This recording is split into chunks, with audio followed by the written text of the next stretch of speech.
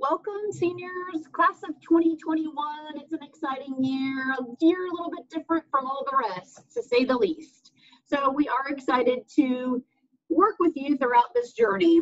We did enjoy meeting you on Wednesday for the Google Meets. So that was a fun time getting to see all faces and hopefully you got to know your counselor a little bit better as well.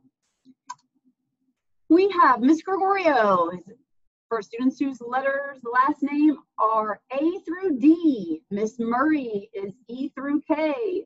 Mr. O'Connor, L through Q, and Miss Jones is S through Z.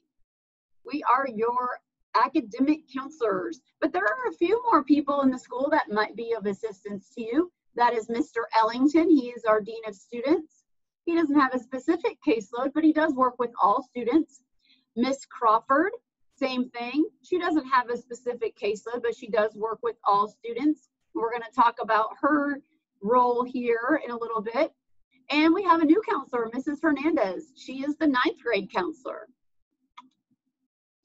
The first thing we want to mention to you is our website. We did touch on this a little bit on our meets on Wednesday, but in order for us to help you, we do put a lot of information on this website. We one thing we get a lot of questions about are scholarships. Students email us a lot and we generally will refer them to this website. We list every scholarship that we are notified about and every scholarship that we know about, including local scholarships, specific Holly Springs High School scholarships, national scholarships, county scholarships, so everything that we know of goes on our scholarship website. This is a great place to start looking for scholarships. And might I add that you need to start now because we're going to start posting scholarships very soon and there are some scholarships that have very early deadlines. We also have um, SAT, ACT information, we have college information, we have um, brag sheet, resume information, we have information on military. We have our information and all kinds of stuff uh, can be found on this website that will be useful to you. And one of those things um, also is sending your transcripts. And we're going to talk about that in a little bit. So here are the things that you all need to be doing. And it's going to be a busy year for you. There is no doubt about that. So the first thing is those college tours. Just because we're in COVID doesn't mean you can't look at a college. Just like everything else, it probably will be virtual. Although we do not know every college tour schedule in the whole nation, so there might be some that are having in-person tours. You will have to do some research on the colleges that you're interested in and find out what kind of tours that they're providing. And these are very, very useful in helping you make your college decisions. The ACT and SAT, a lot of our colleges in the state of North Carolina are going to go test optional. Different colleges have different rules about that. So again, we can't make one blanket statement for every single college. This is something you're going to have to do research about too with the colleges that you're interested in every college is going to be a little bit different when it comes to how they would like you to address this. So you want to check with them. We will be offering some virtual senior support days.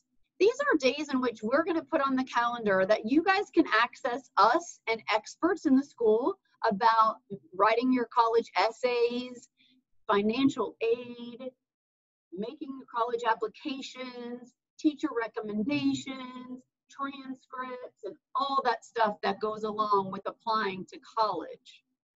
We will also be hosting small group senior meetings in which you'll be back with your counselor to talk about specific college applications, or maybe it's military, or maybe it's two year college. So, whatever your future plans are, the senior meetings are going to address some specifics about moving forward with those plans. The class rank will be updated on September 21st this year. That's in a few weeks. Some of you ask, how is my rank going to change because we aren't adding new grades? Well, we still are adding new grades because we have, have some new seniors who've joined us this year, and we've had some seniors to transfer to other schools. So we've had some seniors to leave us. So we're going to have to add all those new seniors in with all their grades and take all the seniors out and then rerun the rank. So it won't change a whole lot, but it could change by a few. So as of September 21st, your rank and your transcript will be ready to send to college as an official senior transcript. If you order your transcript to be sent, it won't be sent until after September 21st. Transcripts brings me to the next important thing. How do you send transcripts? I'm going to say right now, your counselor does not send your transcript. We are not permitted to send an official transcript to a college, nor are we permitted to send any test scores to a college. Everything has to be done through a vetted, secured website. So for in-state colleges, that's two-year colleges, four-year colleges, public colleges, private colleges, every college in the state of North Carolina can receive a transcript through CFNC. That is a website that you can use, create an account, go to the application hub, and you can send your transcript to any college in the state of North Carolina for free. Now, let's say you're having trouble. Guess what? On the website, we give you a step-by-step tutorial on how to go into CFNC and send that transcript. So you can access that, that very basic, this is how you do it. For out-of-state transcripts, and we understand that there are probably a lot of you applying for out-of-state colleges, we have a different website. It is wcpss.scribeorder.com, and that is also on your screen. So there are just two different ways for you to send your transcript. Now, with the scribe order, the first three are free. After that, there will be a fee associated with that. CFNC is all free. We also want to talk about letters of recommendation and brag sheets. These are things that you can be doing now while you're waiting for that rank to be updated. You can start working on your brag sheet and asking your teachers for letters of recommendation. If you are going to ask your teacher for a letter of recommendation, it is a good idea to include your brag sheet in that letter of recommendation. Because if you don't, it's more than likely the teacher is going to ask for it. And same with your counselor. So don't forget to copy your counselor on a copy of your brag sheet so we can have that too, because we're going to need that when we fill out our school report forms on your college application. The one thing we want to stress to every student in this building, and including and especially seniors, is taking care of yourself during the pandemic and remote learning. These are new times for all of us. We all are adjusting. And believe me when I say teachers and school people, like counselors and support people, uh, we miss you guys a lot. And it's not normal for us either to not have students around. And that's what gives us the energy that we really love is seeing our students and being able to work with them. So we are in a little bit of a different time. So it's important to take care of yourself. Some of these ideas that we have are make sure you have a comfortable space. Make sure you have a place in your home that is good for your learning. Sometimes but in front of the TV is not the best place because you could be distracted from the TV. And I'm included in that as well. I do get distracted by the TV because, you know, when Dr. Phil's on, I like to look at some Dr. Phil. But when I'm trying to work, I got to work. So, you know, being um, in a space where you're not distracted is important. And you have to be comfortable too. So make sure that that's happening. Maintaining a daily schedule is very important.